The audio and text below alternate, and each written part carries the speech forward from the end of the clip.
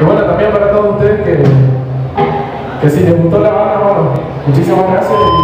Y, un para todos ustedes y para Carmara, especialmente que nos invitó a esta noche y la vamos compartir. El tema se llama Justo Vos.